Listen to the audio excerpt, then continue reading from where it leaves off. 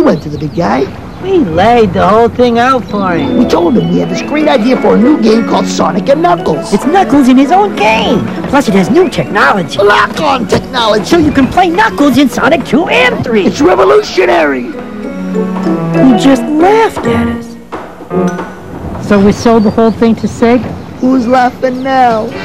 Batman!